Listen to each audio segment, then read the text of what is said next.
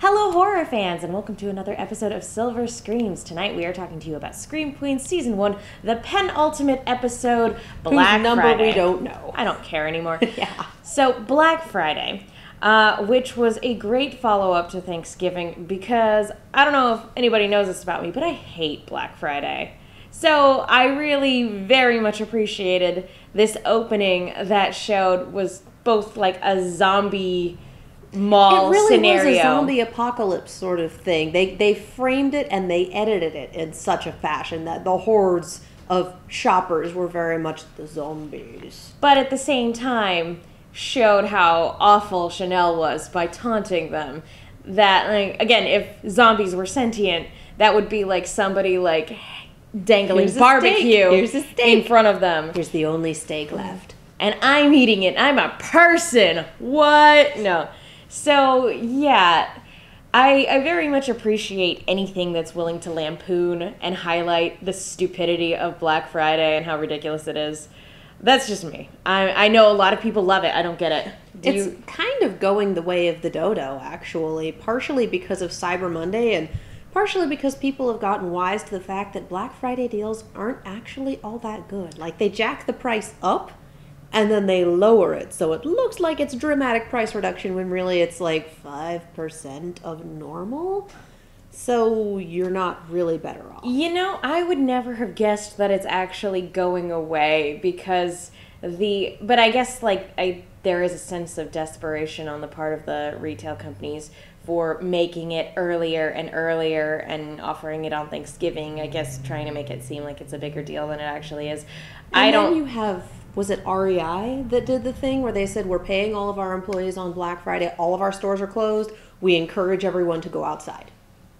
And Of course, I was in Colorado families, and it was nine degrees, so we Maybe not outside, just outside of our store. REI did specifically say outside, but there, I, I think it's REI. It was REI or North Face or someone that's really known for the outdoor clothing and the stuff like North that. North Face.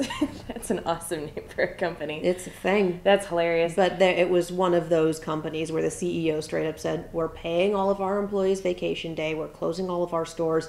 Go outside." Spend time outside of a department store.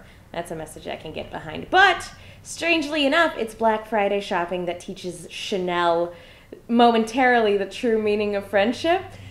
We were talking about this earlier. You were Yeah. saying she's just so easily swayed. Um, She really is. She tends to forget that she has this moral side to her until someone gives her some form of reality check, whether it be, no, you're a terrible, you're, you're not trying to make a house better, you are recreating the situation you have at home, or whether it be, we got this for you because it's Christmas and we care. Like, it requires a reality check. yeah, whether it's snap her back whether into it's Denise going, everybody has a terrible mom. You don't, but you don't say that. You know, you don't ever say somebody else's mom is terrible, or whether it's seeing Hester get berated by a group of even more awful people. Yeah, I didn't think that was possible. And then we met Chad's family. Like, dang, So, but- even Muffy.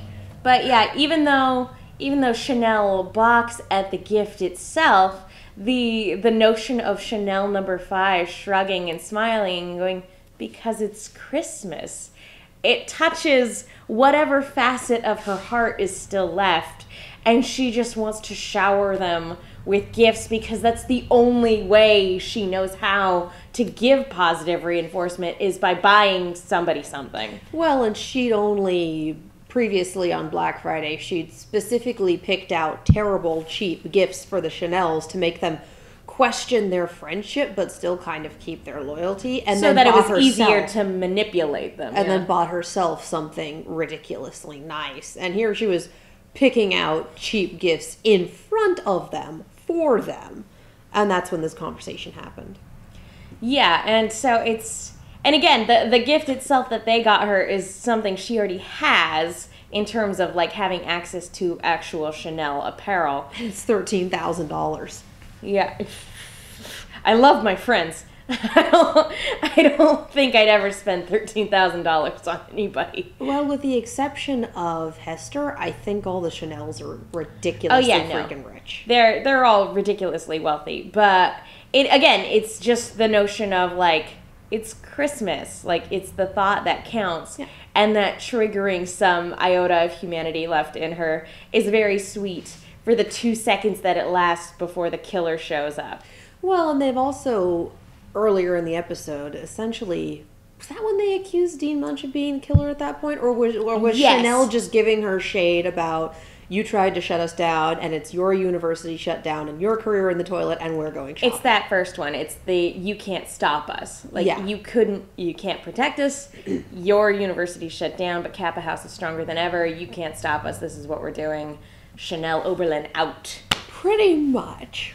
So yeah, it's so when they're confronted with the Red Devil, surprisingly, Chanel tries to make a stand, which is fascinating to go like to see her actually own up and take responsibility because I she am Kappa president. because she thinks that this is Dean Munsch Yeah. who's coming at her with a crossbow. Which is so funny because later on, when she's actually confronted with Dean Munsch towards the end of the episode, she's paralyzed with fear. So it's an interesting parallel while the person is still wearing the mask and they're just an idea, I suppose, even if they think it's Dean Munsch. She still has the ability to stand up, berate them, and even after getting shot with a crossbow, still saying, Come at me, bro. I think there's a difference between, you know, her standing up and saying, No, I have my pride, I'm going to make a stand, and going, We're going to kill her, here's the plan. Fair enough. and then having nobody show up to that plan. Because there's no malice afoot for Chanel for the first one. She's still in the throes of goodwill, such as it is, such as it is with her. She flips it on and off like a switch.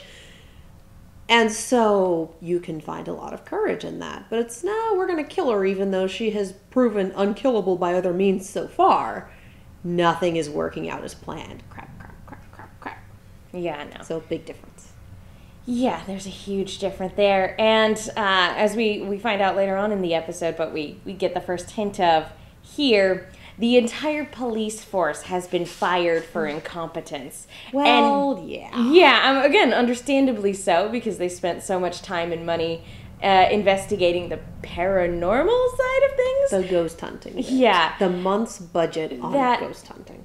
Denise, of all people, has been promoted to the chief of police. Which, don't get me wrong, I think she's a fascinating character, and I find that every now and then when she does drop a truth bomb, you know, it is filled with little pearls of wisdom. But really, She still thinks Zayday's the killer. she still thinks Zayday's the killer. Like at this point, you just gotta let it go. And again, Holy she's cow. also the type of person who, when there's a serial killer after these girls, thinks that telling scary stories is the best medicine.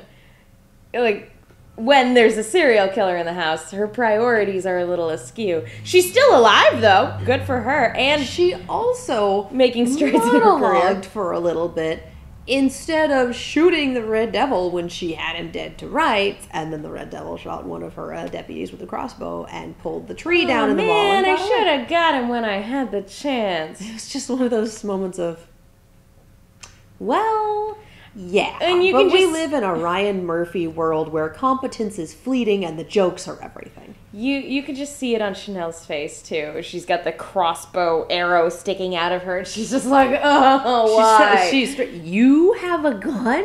Like, oh boy, That doesn't seem Your safe. life just got more difficult. that doesn't seem safe in any capacity. Um, but yeah, so we we do find out more about the police uh, because Pete and Grace and um, Grace's dad decide to go and report Gigi's death to the police, and again they kind of reach a dead end because they realize that there Yeah. are there is no police left, which. It's bad for the town. It's not just bad for Kappa House. It's bad for the town having no cops. Although honestly, the Kappa House has been such a lightning rod for murder, and there has been the murderer running around. I would be really surprised if many, if any, other crimes were being committed in the town.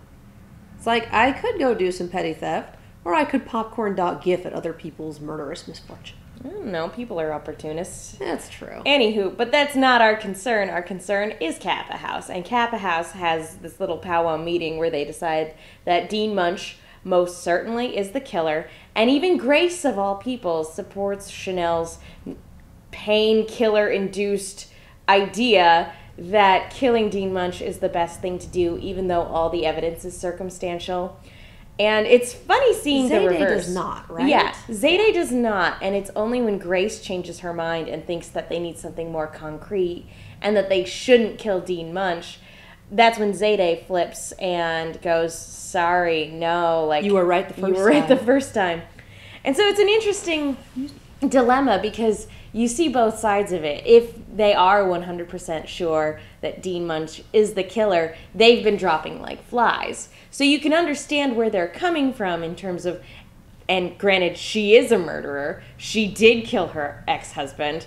So Yeah.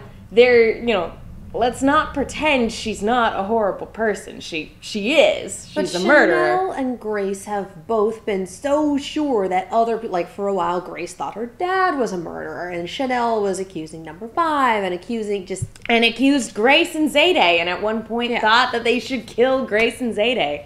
so. If- Chanel is really not the best uh, judgment here. but it was it was very sweet when when they both uh, said that they should poison her. she Uh, poisoned her. Aw, and I'm like friendship. I'm like, oh, honey. And But then it- it, pufferfish venom is what they use, and it does not work. And again, I, I t- like they they keep trying these different things. Uh, they tried the cryo chamber after that, after the poison didn't work, And, she's fine. And she's fine. And I love that they brought up the Himalayan monk again, um, because that seems to be how she's Houdiniing her way out of death. Or she's just lucky. Or she's just one of those people where it happens. I I honestly think She's that Rasputin. the the venom thing is either something that she also developed while studying with the monk was like an immunity to iocane powder, that sort of thing. Or it's gross incompetence on the Chanel's parts because where on God's green earth did they get pufferfish venom? Hester. Um, but- Points, but still gross incompetence. It could be gross incompetence. It could, and it could also be, and I think we get this more and more, is that the dean is just stupid like a fox. In terms of, she's not an idiot. She knows exactly what Chanel and her cronies are doing. Like, there's no way she doesn't know. Uh, you know what they mean when they pass her her favorite drink and say they want to create a feminist collective. Like, there's no way she doesn't know that they're up to something. Yeah. So either she's actively, either she's just the type of person that just like poison doesn't work on her, or she's like actively preparing for attempts on her life. And honestly, I wouldn't put that past her because she thought out the whole murder of her ex husband thing pretty, pretty well. With the exception of the soul fights thing, which fell through. Yeah. And the Red Devil, Z, and Justice Scalia have gone mm-hmm. after her before. So she's obviously not off the and she block. saw that movie 50 times and and yeah So that's great. that's another thing is we've seen what happens to people who try to kill dean munsch They get their asses kicked. they get their asses handed they to get destroyed. they do so it honestly doesn't wouldn't surprise me in any way shape or form if she can spot an attempt on her life coming a mile away and can act accordingly as we saw with justice scalia and the red devils but So we um, have two attempts on her life that go through all the way through and nothing happens, and a third where Chanel asks all the other Chanels to back her up, and they just miss the call. They get distracted. and don't. And so she's stuck holding a bag of chains at the pool with um, Dean Munsch talking to her. Like, why are we meeting at the pool? Why are you carrying a bag full of chains? Do you think no one's here because there's a serial killer on the loose and the campus has been evacuated? Like, Dean Munsch knows. There's Why no way are we here to know? Right. And she just walks away. And There's no way she doesn't know. yeah, there's no way she doesn't know. It like at the very least by this particular Oh, yeah. instance. Oh. I again, I I think that she knew what was up the first time around. But like at the very least by the third time she knows what's up. And that being said, we I don't think she is the other Red No. Devil killer. They've made it pretty apparent that Pete in this episode, maybe not necessarily being the Red Devil killer, but is certainly involved to a certain extent because he is Boone's sole beneficiary of his will. Uh, and Including the box of lubes under his bed. Which is like, that is an awkward were thing you to write into secret your will, buddy. Weird, weird. And then Quit Chad, talking bad about Dead Gay Boone. And then Chad Funny. challenging him to a duel because he refused, ex- like joining the the Dickie Dollar Scholars. I which is honestly apparent- think that Pete is, and and I know the season finale has aired at this point. Please don't leave spoilers in the comments. We haven't had the opportunity to watch it yet, but I'm waiting for that to come back around and for him to either take out Pete or take out the last Red Devil. Just because you're gonna die, you're gonna get murdered to death. Choose your weapon, and then Murdered I feel like this is the sort of thing that Chad Radwell does not let go. Especially No. since he is the last standing Dickie Dollar scholar. These traditions live and die Well, with him. And and he brings up a very good point in in terms of actually something that I kind of forgot about that was mentioned at the beginning of the season was that Pete had a thing for Chanel for a while. That's right. He stalked her for a while. he stalked her for a while, um, and we learn here that he was actually initially denied admittance to the Dickie Dollar Scholars because and- he doesn't know anything about golf and doesn't have a sweet ab routine and doesn't have any John Mayer albums. All those seemingly arbitrary. Well, well, the golf is a big thing because The- that's what it's. the golf is an actual thing. Like fair enough with the golf, but all that But the other other stuff two are just like, thank you, Chad. whatever. And like it's so funny because I didn't even think of it as like a golf club, even though that's all they do. A golf club.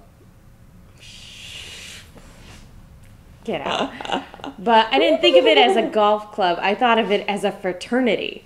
Like because they Six they treated it like a fraternity. They all live together. It is a Greek organization of some sort. I but it's just like really it's- weird that it's more like an intramural sports thing than it is a fraternity. And maybe it's like one part golf club and one part fraternity. I don't I don't know. I'm not going to pretend to know. Six of one, half a dozen of the other. Or I guess maybe it's just a collective of people who are there on golf scholarships. No, because they're all super freaking rich. Yeah, they're all rich, but again, all, all golf play? oriented. That's right. Anyway, Like, anyway, He Chad would is- totally use a scholarship even if he didn't need it. Anyway, Chad is the last of the Dickie Dollar scholars. We need Earl Grey to read the minutes. Oh right, He's dead. he's dead. But um, Just like, oh, I miss and Earl Grey. and that is a bummer. That is, you know, again, Earl Grey was a good man, even though I suspected He was a him good of being side a murderer. character. He like I suspected him of being a murderer for a long time. But anyway, we we see that Pete had resentment towards the Greek system even before Chanel turned him down. That it's possible he started pursuing Chanel in an attempt to kind of undermine Chad in a way and his organization and that's where he developed this strong hatred which he brings up to grace in kind of a cryptic moment of him just kind of staring off in the middle of a tirade and saying how the system should be cleaned up and maybe the red devil was the one to do it uh, well, and all this stuff about, you know, the Greek system perpetuates all these awful things in this awful standing order. And it's antiquated it's misogynistic which all you have to do is turn on the news to any given like story about a fraternity and you can see that there is legitimate there is legitimacy to that to an extent But it's also a lot of the things that get publicized. Like, I honestly think it depends on the location, the one that you're like. I'm I'm a Phi, and I was a Phi at Pepperdine, and we were a more service oriented um, sorority. We we weren't the partiers on campus. That was a different chapter. And talking with my mom, who went to Oregon, evidently the Phi's at Oregon are real woo girls. And it's the same sorority, different chapters, same overarching organization. And it just develops differently depending on the people who are in it, the location. That I mean, Pepperdine is a religious college, with purpose service leadership. Y- you know, well Oregon's not. I would actually debate that at least when it comes to fraternities. Like I I will say that even if fraternities do a lot of good stuff, they are still boys clubs. That's true, Every too. single one of them. So even the quote unquote good fraternities, maybe without even meaning to, do perpetuate unintentionally certain ideals. And I, I will say that I I was a sociology major, and one of my classes talked about a particular case study with fraternities, and my professor for that went to school at Pepperdine, which was or he went to school at like some very Christian college, and there were elements of the things in that case study even in his fraternity, and that was one of the good ones. So, like, in just the way that, like, again, I don't know if it's like just a dude to dude thing. If Any large groups of college students have the propensity to do some incredibly dumb stuff. point being, I still think Depends fraternities on- and sororities are dumb. That's just me. And Anywho. that's your thing. and that's my thing. And we also have these very exaggerated versions that we're seeing Oh, yeah, in no. Scream Queens. Ryan because, Again, we live in a Ryan Murphy world in this series. And a lot of what happened in this series would not be possible if it weren't a Ryan Murphy world. The very existence of some of the Chanels wouldn't be possible. Ryan Murphy world. Real talk though, if you're in a fraternity or sorority, just be cool. Yeah, That's all it takes. Just be cool. Anywho, to get kind of back to Pete, uh, to get back to Pete, uh, he r- decides he's gonna leave campus. He's just gonna freaking bolt, and he gets a call, presumably from the other killer, The Red Devil. and this is where we find out that, at, uh, first of all, that Boone was his source of information for a lot of the elements of his story. Uh, that Gigi was actually the sister of uh, one of the girls in Kappa House who was there that night who tried to raise the twins on her own and committed suicide because of the stress. And that Gigi's whole deal was just getting, she had a nervous breakdown based on that and has spent the last 20 the years 90s. yeah, that was the traumatic event. She wasn't at Kappa House at the time. We all assumed that she was there that night. No, her sister was. And that she has raised these two children to get revenge, and that the sister that is left is the one taking revenge into her own hands. Yes. And that she seemingly reached out to Pete for help. And he may or may not have participated in the murders with her, which would explain why, say, at the mall, Hester can point to the Red Devil and make her escape. So all this time we thought we were working with two Red Devils, and then it turned into three, and now it's four At least. at least. So Turns out everyone's a Red Devil. Well, I mean, we kind of threw that out as a possibility. Uh, and again, it would explain why Pete has been MIA for a lot of things where all of the Kappa girls were around.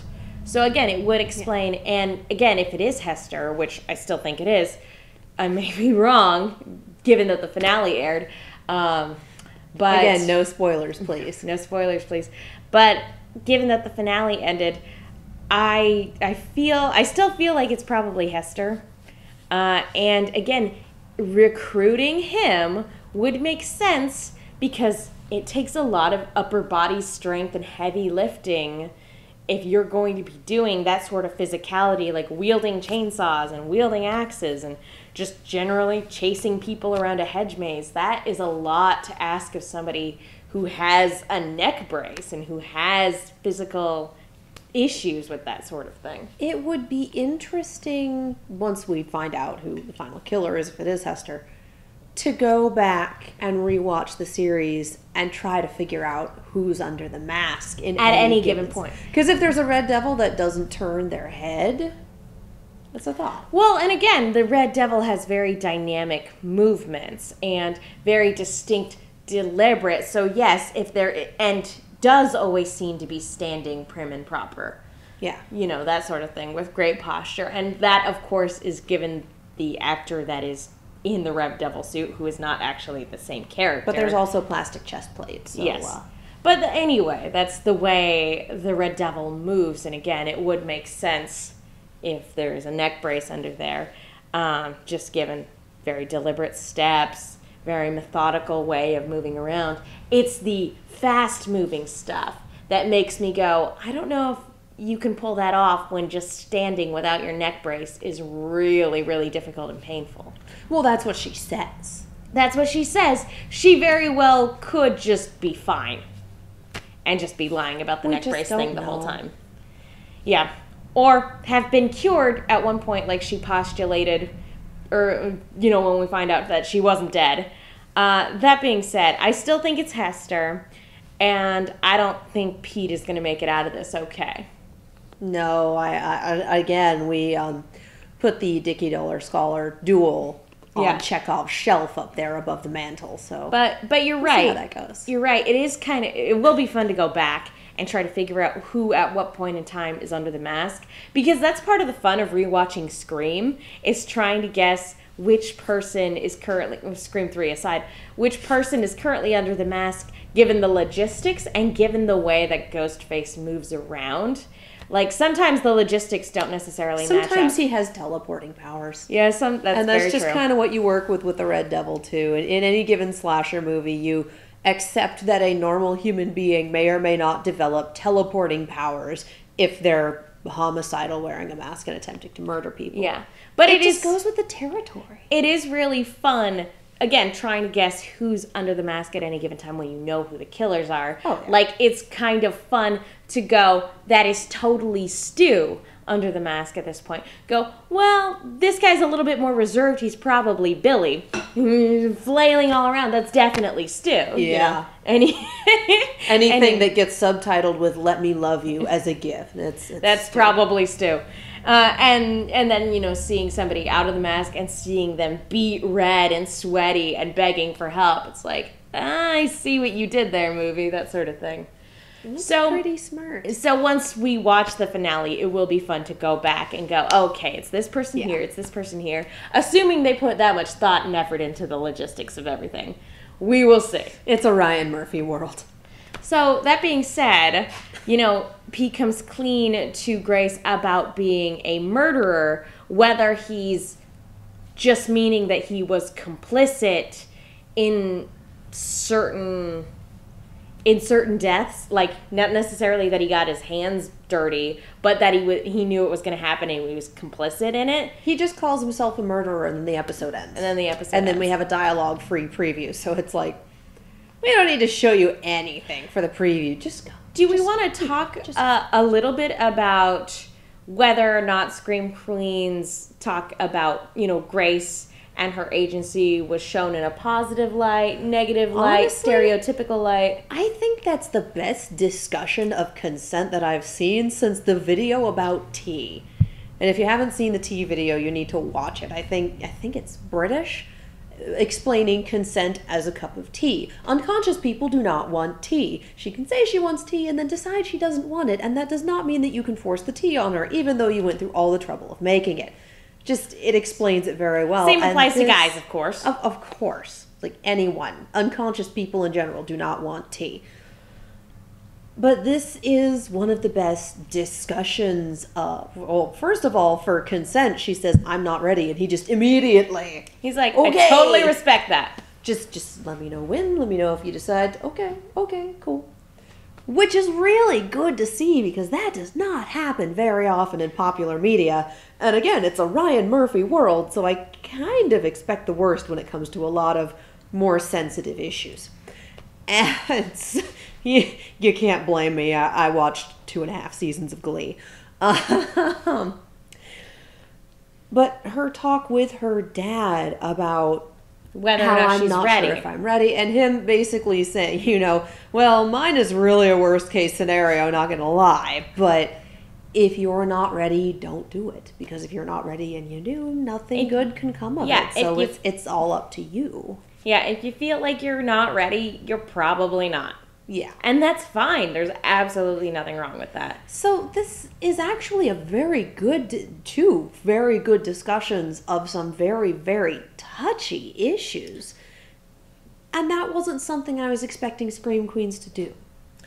Yeah, no, that's that's a good discussion. I will say that like kind of not necessarily to counteract that, but like I will say that it does kind of make me I, I think it's definitely a good discussion to have and I like that the show makes those points. But just in terms of horror as a genre, like in terms of kind of saying like, "Oh, she's the innocent one. Oh, she's the virgin, Sluts so that means she's live." gonna live." Like uh, on the one hand, like I do take a little bit of issue just with horror as a whole taking certain moral stances. Again, I think this was a very good discussion though. Horror as a genre needs to progress a little bit more and need to needs to be a little less antiquated in terms of the way that it talks about these certain things. But for this, even if it was a nod to the virgins live trope, it was addressed extremely well. And again, I wasn't expecting that in a Ryan Murphy world. I we watched this episode twice and I was pleasantly surprised the first time and found that it still held up the second. Yeah, it didn't So come off as well forced. done. it didn't come off as preachy either. And I think that's probably more important, especially when horror's key demographic is teenagers. So, and you know, again, it's horror likes to have its cake and eat it too. Oh, yeah. It likes to show people, you know, it likes to show people having sex and then also, you know, having violence enacted upon them. So it has this really weird, misconstrued morality, quote unquote, but at the same time, it still has the TNA to cater to its demographic. So it's this really weird hodgepodge of mixed messages in terms of he like again it likes to have its cake and eat it too so it's nice to actually have something go hey guys. Can we can we have a real talk for a minute? I feel like a lot back to our regularly scheduled program I without just- feeling like a psa I just feel like a lot of those tropes came from like 80s slasher movies. A lot. No, that that is again, which I actually genuinely prefer those to like say what lots of 70s horror movies did in terms of attitudes towards women and everything like that. That's a discussion for another day. Yeah. So I would rather take Let's Die Virgins Live over what they did in the 70s, but that being said, that's not a good message either. No. Any anywho, Virginity is a myth, ladies and gentlemen. the hymen doesn't work that way. Adam ruins everything. It's Adam great. ruins If you guys haven't watched Adam true. ruins everything, it's fantastic. But um, anyway, the the point here being is that this it, it was I liked that this could have again a discussion like this without it coming off as forced or like a PSA. Yeah. To the point where she goes, maybe after we kill Dean Munsch, and he's like, yeah, that kind of killed the mood for me. I'm out. Well, and he also he's putting her up on a pedestal. He is, and that's "Oh, not good well, either." You're good and pure, and you're all of these wonderful things, and you're trying to fight against this awful Greek system. And if you kill Dean Munsch, you'll become just like them, and you'll be everything you were trying to fight against. And, I'm like, have to kill you. pretty much. That that was that was the implied bit there was, and then I'll have to kill you. Because that's like she's fighting against Kappa House, and she's trying to make things better, and she's trying to do actual sisterhood, and therefore, She's pure and good, and the shining light in this dark, de- like dreary Greek organization. have we had any attempts on Grace's life directly? No, We've none had whatsoever. we had a couple. Um, we had the tunnels for Zayday, and I don't know if we had another one after that. But No. Zayday got, you know, they kidnapped on the romancing with the Oakland Nachos. it's it's like, that. the killer was always a step behind Grace in terms of like going six hours and tracking down this person that Pete and Grace talked to. Um, that the second Zayday and Grace got separated, that's when Boone kidnapped Zayday. So like the I feel like even though she's seen the killer and seen the aftermath of the killer, anytime she and the killer were present together, it was either somebody else was the victim or it was a show to get suspicion off of Gigi or to kidnap Zayday, you know, any number of things. I think probably the closest was when they actually found the underground lair. Yeah. But even then, I don't feel like Grace was attacked directly. I don't. I don't think she was in the room. I think that was Gigi and uh, Denise, yeah. Denise. Thank you. And and again, that was mostly to kind of throw suspicion off of Gigi. Yes. So That was hundred percent to throw suspicion. so off of Gigi. yeah, even though Grace's sorority sisters have been dropping like fr- like flies in terms of Candle Girl and Sam, Deaf Taylor Swift, and all those other people that have been killed, and they actually rattle off the list of everybody who's died up to this point, which was very impressive. it's impressive. pretty wild. um, Like it's a long it's extensive. list. So, but yeah, there was never there at least not to my knowledge there has never been a direct attempt on Grace's life, at least not one that wasn't staged in some Yeah. way shape or form. So, again, I think again, I don't think it's about her. I think it's about these individual people taking up the mantle of the Red Devil who each have their own agendas, whether it's taking down Kappa, cleaning up the Greek system as a whole, Getting personal revenge. revenge. Yeah. It's it's a number of things because every person who's worn the costume has their own personal agenda. To the point where one girl is totally okay stabbing her brother and adopted mother and killing them. Like and and that's why I think when Pete says never call this number again and hangs up, that means he's next. Not only Yeah. because he knows who the other person is obviously, but because like He's he- removing himself from the he situation. ha- he he seems to be having this like moral objection to any further action when the other person wants to take it further. So again, I still think it's Hester. That's just me. That's just my prediction. Any other thoughts? I'm I'm with you on that one. It almost seems like the obvious choice at this point, but it's what we have. It's what we have. I I can't see it being anybody else except maybe Chanel number 5 who the first time I watched it it looks like she put down the phone intentionally and then made a big scene intentionally. But at the same time the second time I watched it it seemed more natural. But that being said, the only way I could see that happening is if at some point she was looped out of a conversation or was only looped into it after a certain point and it makes no sense that way. I, Yeah, I don't know. I don't. I, I genuinely think she's like stupid like a fox in the same way that Chanel number three is, but I don't think she's a killer. That's just me personally.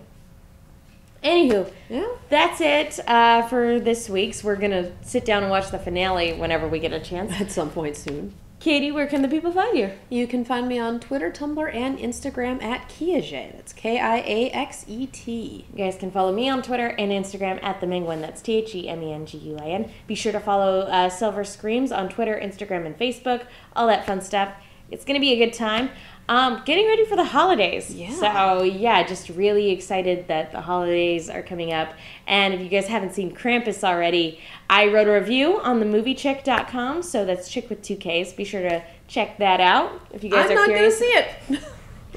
It's not your thing. it's not my thing. Anywho, thank you guys so much for tuning in. We will see you all next time.